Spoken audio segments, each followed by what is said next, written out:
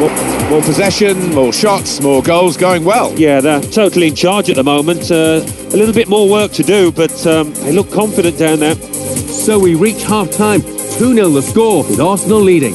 Let's take a look at the highlights from that first half, and then we'll be straight back to your commentary team for the rest of the game.